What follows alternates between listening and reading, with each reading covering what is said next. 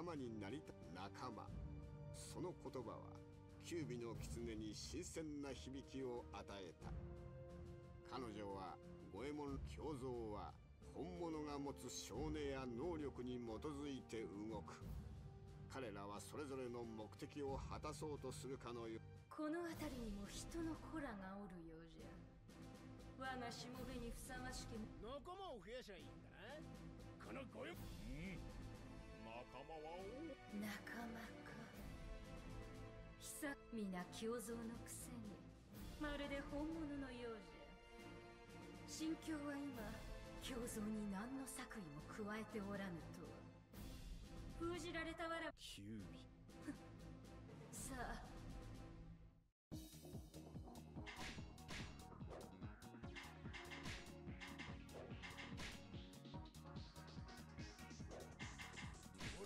さ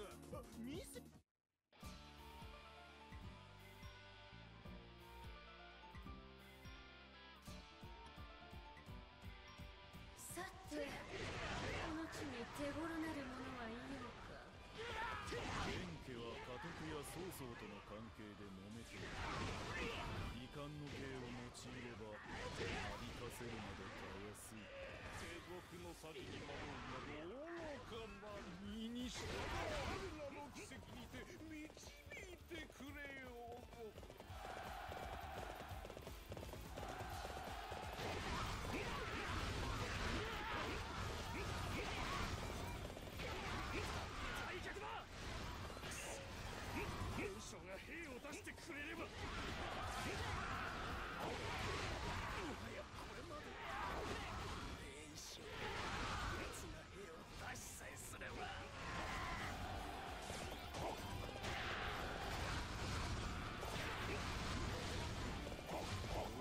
しているとはいえ曹操は袁紹の監督曹操に家中の国を拾わせたいらしやはり袁紹は動か。ぬこの機に曹操を疲弊させる腹か。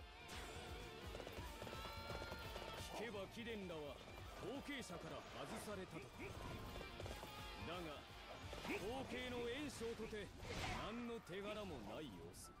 ならば今こそ運命を覆す時。活躍次第では後継の座を奪えましょう。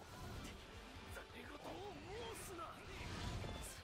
そうそう父の意向に背くことなど。感じ召さるな。我らで曹操を討つだけです。袁紹殿には我らから話を通しますよ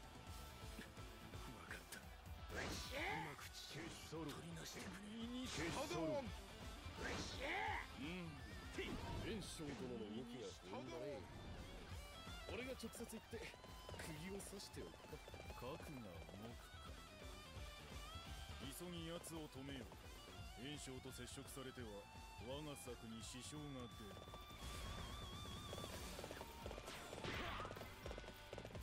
円家ってのはすげえ名族なんだろ？にすりゃお宝くれるかもしれねえな。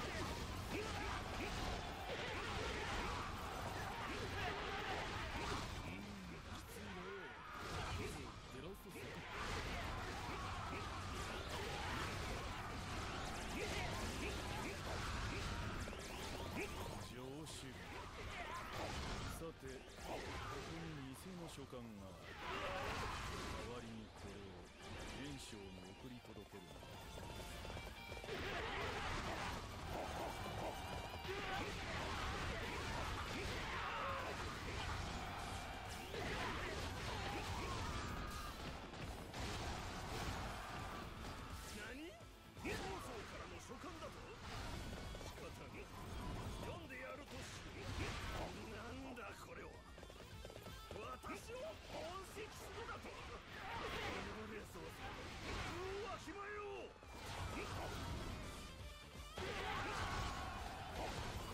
炎章の頭に血が上っている今が好機だ。円端を曹操軍に向けて放て。この戦で俺は円家の後継者となる。父よ我が勇士。しかとご覧なれ。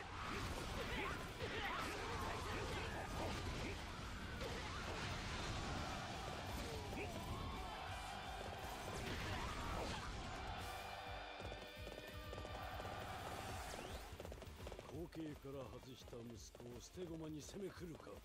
太郎袁紹貴様との命もここまでだ。袁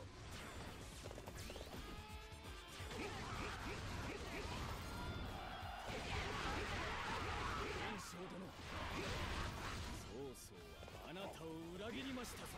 この上は我らと共に戦いませぬか。それが上策のようだな。の縁故ちお前たちに力を貸してやろうう。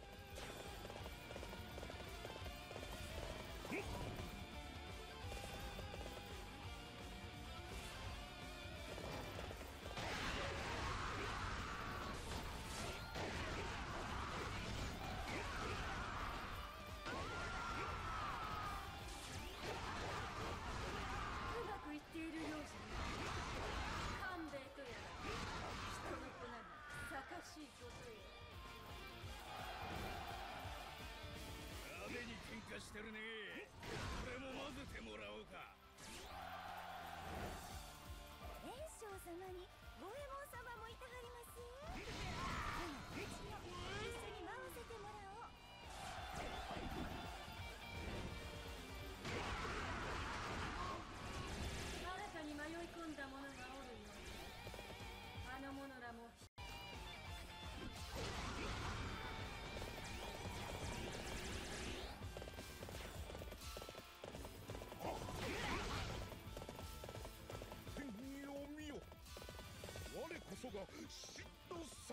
三国無双